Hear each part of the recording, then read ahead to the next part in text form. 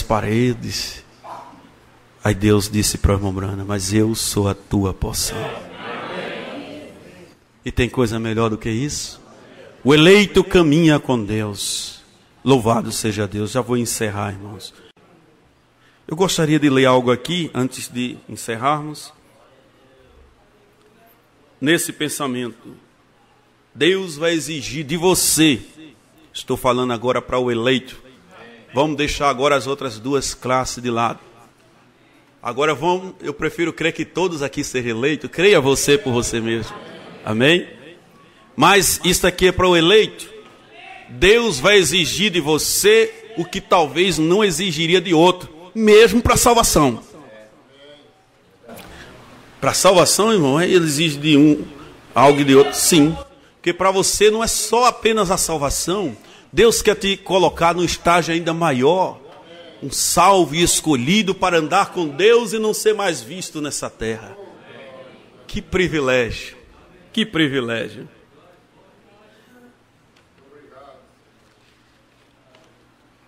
Presta atenção nisso aqui.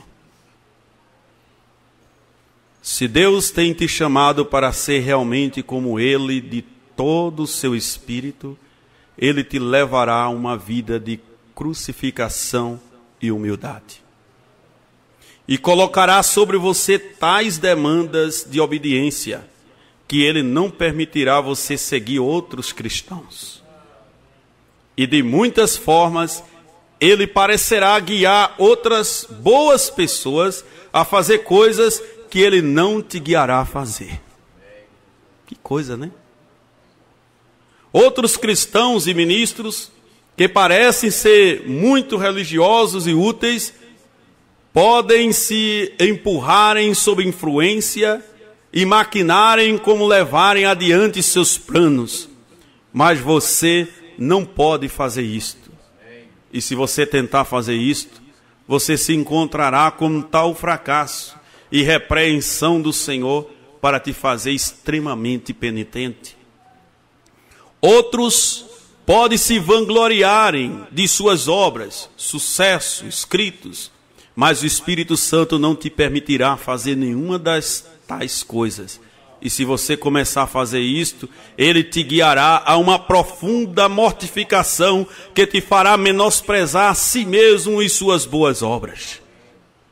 A outros serão permitidos terem sucesso em fazerem grandes somas de dinheiro ou legados deixados por eles, como tendo luxúrias, mas Deus pode te suprir diariamente, porque Ele quer que você tenha algo muito melhor do que ouro, que é uma completa dependência nele, que Ele possa ter o privilégio de prover suas necessidades dias após dia, a partir de seu tesouro invisível.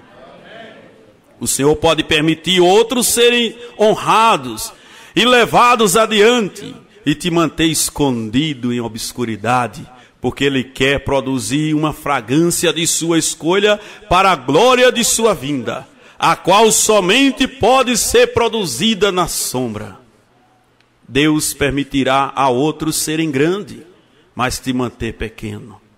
Ele permitirá a outros fazerem uma obra para Ele e terem o crédito por isso, mas Ele te permitirá trabalhar e labutar sem deixar ser conhecido o quanto você está fazendo.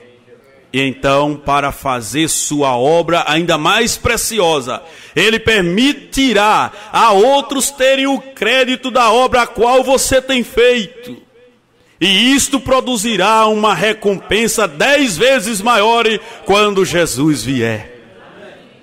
O Espírito Santo, o qual coloca uma estrita observação sobre ti, com zelo, amor, e te repreenderá por palavrinhas ou por perda de tempo, o qual outros cristãos jamais parecem ter passado por isto. Então que seja claro em sua mente que Deus é um soberano infinito e tem o direito de fazer da maneira que agrada a Ele mesmo. E Ele não te explicará milhares de coisas que enredarão suas razões quando lidar contigo. Deus te tomará em Sua palavra E se você absolutamente se entregar para ser seu escravo, ele te envolverá em um amor zeloso e permitirá outros dizerem e fazerem muitas coisas que você não dirá ou fará. Selado eternamente está que você lidará diretamente com o Espírito Santo e que ele é para ter o privilégio de prender sua língua ou encadear suas mãos, ou fechar seus olhos, de maneiras que a outros não é assim.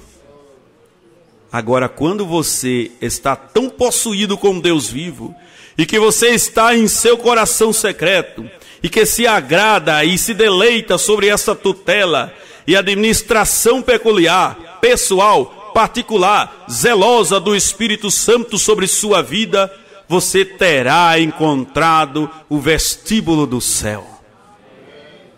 Isto aqui foi encontrado entre os textos pessoais do irmão Brana depois que ele partiu. Deus exige do eleito o que ele não exige muitas das vezes de outro. Uma certa vez irmão Brana disse: Mas Senhor, esses homens saíram do meu ministério, Oro Ross, T.L. Osborne, veja que grandes coisas ele tem. Irmão Brana podia ver aquelas paredes. Aí Deus disse para o irmão Brana: Mas eu sou a tua porção. E tem coisa melhor do que isso? O eleito caminha com Deus. Louvado seja Deus. Já vou encerrar, irmãos.